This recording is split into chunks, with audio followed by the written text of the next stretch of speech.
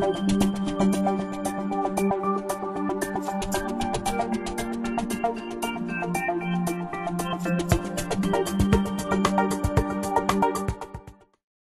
Synchronized cardioversion, the defibrillator is synchronized with the QRS complex so that a shock cannot be given during cardiac repolarization, which can trigger ventricular fibrillation. The procedure can be done urgently or electively.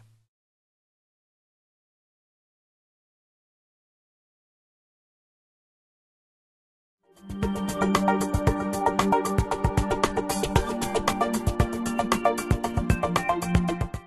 time permits, clean and dry the patient's skin. Shave or clip any hair to ensure good contact between the defibrillation pads or paddles and the skin. You can do synchronized cardioversion using adhesive electrode pads or paddles. You may use anterior placement for both pads and paddles.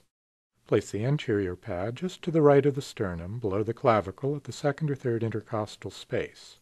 Place the lateral pad below the left nipple just medial to the anterior axillary line at the fifth or sixth intercostal space. In patients with a large chest cavity or overlying breast tissue, the anterior-posterior placement may be more useful. Only adhesive pads should be used, not paddles. Place the anterior pad just to the left of the sternum in the third or fourth intercostal space. Place the posterior pad to the left of the spine on the back below the left scapula. In this position the heart is sandwiched between the anterior and the posterior pad. Attach the defibrillation cables from the pads to the defibrillator. If using paddles, you must place conducting material between the paddles and the chest to avoid skin burns. Use either a conducting gel sheet or liquid gel that you place on the paddles. Because the procedure is frightening and painful, give IV analgesia and sedation if time and patient condition permit.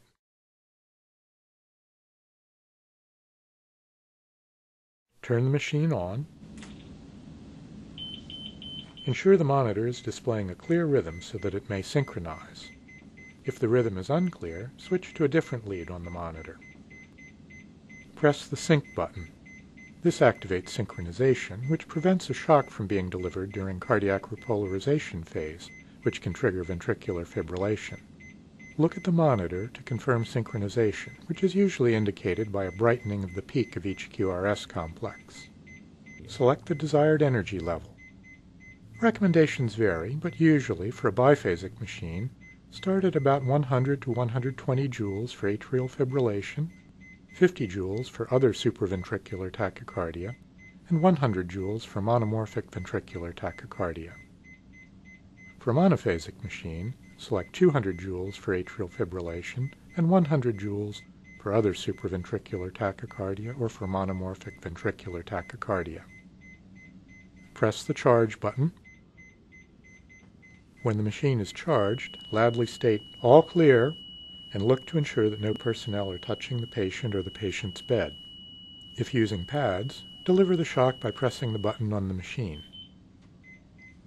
If using paddles, press down firmly on the chest wall and push buttons on both paddles at the same time.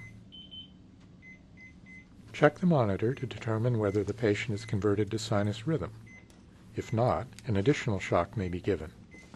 For additional shocks, increase the energy delivered to 200 joules for a biphasic machine and 360 joules for a monophasic machine.